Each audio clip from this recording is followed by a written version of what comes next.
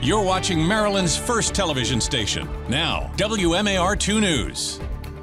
Today is November 8th. I'm Randall Newsome, and these are some of your top stories. A man killed in an officer involved shooting. It happened yesterday outside a home on Wilkins Avenue. Police Commissioner Richard Worley says officers were on patrol in that area when they tried to stop a man they thought was armed.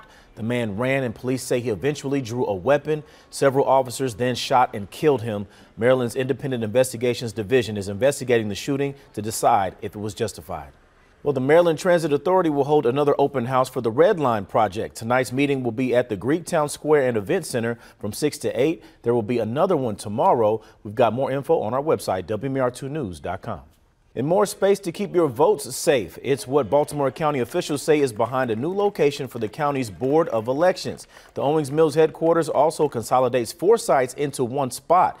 The office will be used for general office needs as well as election judge testing, equipment testing, and ballot canvassing. Voting equipment will also be stored there. All right, let's take a look at our forecast meteorologist, Stevie Daniels. Good morning, everyone. It certainly felt more mild out there yesterday. We dealt with temperatures in the 70s.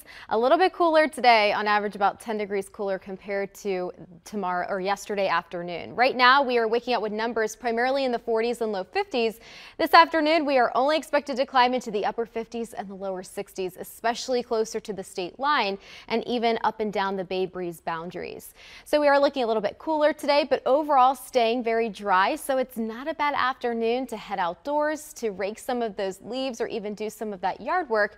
A high temperature of 61 at BWI, and we are looking at more clouds filtering in throughout the second half of your Wednesday, and winds remain light in nature out of the north at about 5 to 10 miles per hour.